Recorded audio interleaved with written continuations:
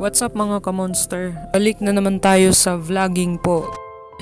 Eto na guys, kapapasok lamang na balita. Ito ay tungkol sa isang NBA superstar na si Kobe Bryant ay nasawi dahil sa isang helicopter crash at napakalungkot pong isipin dahil kasama po ang anak niyang babae.